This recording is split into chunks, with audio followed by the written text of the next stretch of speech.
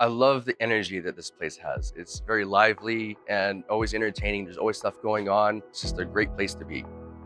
My name is Taylor Kirby. I work at SaskGaming. My job title is Customer Service Representative and I work in the coat check. I've started off as a work placement and got hired on full time. I've been with the casino ever since. The fondest memory I have for working at SaskGaming is when I got recognized from my VIP who recognized all the hard work that I have put in and that really made my day. The guests are a huge part of my job because I like to interact with the customers and make them feel special and make them want to be happy as they come into the casino. And I like to make them feel happy as they leave as well too. It's just a great place to work.